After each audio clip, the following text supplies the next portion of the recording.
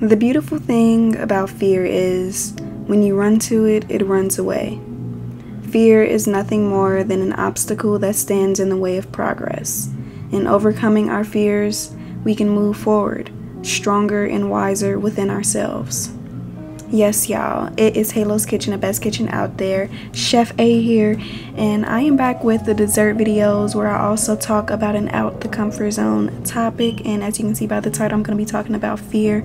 And just a disclaimer this recipe is not mine at all. You know, I am not really a sweets type of person, but I do like to challenge myself, you know, here and there and you know all the instructions all the ingredients will be linked below on the lady's website. It's by the banana diaries i believe that's her name. But if not i'll just make sure you know to link her stuff down below because this ain't my recipe. But yeah y'all this was definitely delicious. I definitely recommend that y'all try it. It's also gluten free but yes let's get into the topic of fear because i've been facing a lot of fears personally myself. Like i literally just jumped out a freaking airplane um, this past weekend. You know, that was an experience for sure.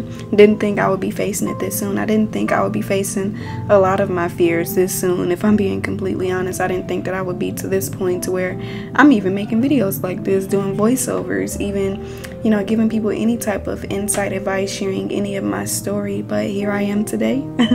Life just be life in. So, yeah you know and I, I started off the video with that you know that little quote or whatever not a little quote that's a big quote because it holds a lot of weight. It's very much you know truth within it. And you know at some point you have to stop allowing your fear of what could happen make nothing happen. I want you to like listen to that again. At some point you have to stop allowing your fear of what could happen make nothing happen. And you know i don't know how long any of you guys have been watching my content but I was not long ago in a period of my life where fear was the leader. Fear was at the forefront of almost every choice I made. You know, how I navigated through situations, how I communicated with other people, with the calling I have over my life, and my understanding of what I'm intended to imprint and accomplish in this lifetime. I no longer could hold on to the fears of what could happen, you know, once I put myself out there. And you know, being on social media was so far out of where I wanted to place myself. And I'll be a little bit transparent and share that I've experienced, you know, cyberbullying, harassment, threats, and attacks that completely scared me away from putting an ounce of myself out there. It scared me from reaching my fullest potential. It scared me from creating and being the woman God called me to be. I thought that the less I'm being seen, that, you know, the less likely it is for my image to be completely destroyed, for my name to be tarnished. I put the power of my life, you know, my destiny in the hands of those that could see nothing but my flaws or the made up version of me that they had in their own mind. And I even allowed it at some point to shift and control my perception of myself, knowing that deep down that was not who I was, you know? You know, it was kind of a situation where, like, dang, you know, people outside of me that aren't within me that don't fully see me for who I truly am, the the pureness that I hold, and you know, the good heart that I have. You know, they believe like so negatively against that and have this whole other perception, like so hard to their core that I started to believe it as well, if that makes any sense. I don't know if any of you guys have experienced that, but that definitely has happened to me to where I feel like maybe I maybe I don't know myself. And I know there's situations where you know other people come in and they are meant to reveal parts of yourselves that you may be you know unconscious about. And you know I'm not I'm not speaking on that. Different things different mistakes I may have made or parts of my character that were you know toxic and whatnot and that needed to be changed. But just I'm saying like like who I completely was my whole image and identity I put it in the hands of other people and like I said, it just wasn't who I was deep down inside. Um, you know, I was so afraid to shine out of fear of judgment as well. I thought you know, the thought of others that I once went to school with or just people I once knew in life seeing me pop up on their social media or wherever else my brand is expanding, it gave me the feeling of embarrassment. I knew that my life wasn't meant to be lived traditionally, not the traditional 9 to 5 working almost every day of the week, you know, towards something I barely care about. I knew that deep down I had so much to unlock and tap into with my many different talents and I knew that one day I'd have to let my light shine. You know that's that's just very true like me i have to be a person that's like leading with intention. I, am pretty sure i've like said that in one of my videos before and i just have to have purpose behind whatever it is that i'm giving my energy and that i'm putting my energy into. Like even when it comes to like connections in my life you know feeling like you know they have purpose to them as well and not just there just because if you know they're not necessarily adding anything to my life.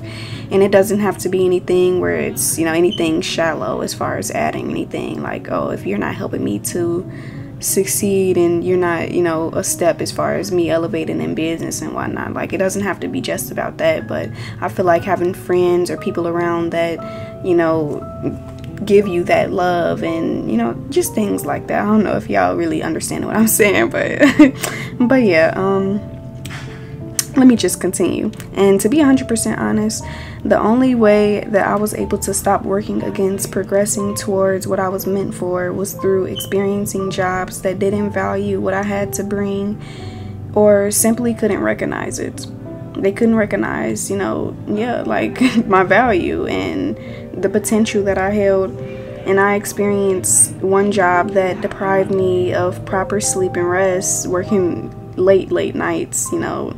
It deprived me of balance and happiness. I experienced my first heartbreak being so head over heels for someone that was not willing to give me what I did in return. So I poured into myself instead, and I had to experience the misery of what life was being outside of correct alignment towards what I really wanted instead. I experienced my first period of isolation away from everyone. I was hidden in a way. And I began to finally share myself and what I created to social media, being seen for more than just my looks, because that's all I really used to be on social media for, just to post some cute pictures. I pretty much wanted to get into the Instagram modeling and stuff like that. I was all on Snapchat, and that's all that I really, you know, did for real. And I'm like, well, I don't really know what else I'm truly interested in, like, you know, as far as after high school, deciding what career you're gonna go into. So I thought I was gonna be doing some modeling or something, but nah, God said I got other plans for you. I got something, I don't necessarily wanna say bigger for you, but just something that's more so aligned with who you're called to be because no career path is bigger than someone else's, if that makes sense. And, um, where was I at? I began to finally share myself and what I created to social media, you know, being seen for more than just my looks. But my exposure, it was always slow and steady. I never received an overnight type of viral exposure. You know, I remained heavy in my prayer life during isolation and always asked for divine preparation and timing. And like, even still to this day, my progression, even though it's like you know finally starting to pick up because i recall like my instagram account my my cooking instagram to be specific i was stuck at like 183 between 183 185 and 187 those three numbers i was stuck at that many followers for so long barely getting 100 views like 5 to 10 likes on my posts and just constantly getting discouraged. But i didn't realize that that was also meant to help me with my discipline as well just to keep going strengthening my faith. And, you know, my faith was tested. I first thought that I was supposed to receive and reach the lifestyle and results that I wanted just after, you know, first starting. I thought, okay, I'm finally not going against, you know, what I was called to do. I'm, I'm living and leading with more purpose and intention. I'm, I'm finally doing it, you know, so why why shouldn't things be going a certain way? Why why shouldn't I, you know, finally have this lifestyle that I, you know, I had this vision for, you know, that God has shown me like where is it at? Like since i'm finally starting to take those steps not understanding that things take time to build you know things don't come overnight. You have different lessons to learn. You have other people to meet. You have different people to meet before you can just jump straight there. And you know, I focused so much on the end result that I completely missed out on the best part, the moments that I'm going to remember most, you know, the journey, the struggle, turning, you know, nothing into something. Not completely nothing because, you know, I'm still, obviously, I'm still fortunate enough to even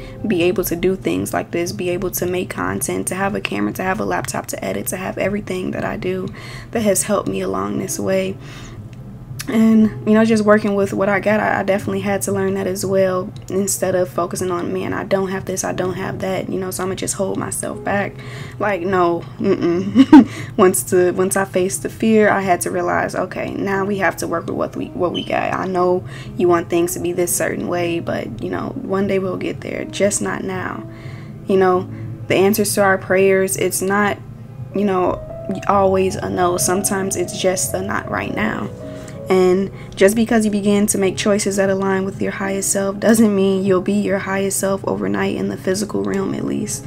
You know, there's this quote by Bob Proctor faith and fear both demand you believe in something you cannot see. You choose. And I just, I truly do hope that whoever it is that's watching, that you know, I pray to God that God leads you to no longer allow fear to take a hold of you, to to hold you back any longer because you were made to be something great in this world. You all of you are, whoever it is that's watching. And i i pray that fear definitely isn't you know the main thing that's holding you back because you have so much to share. You need to let your light shine.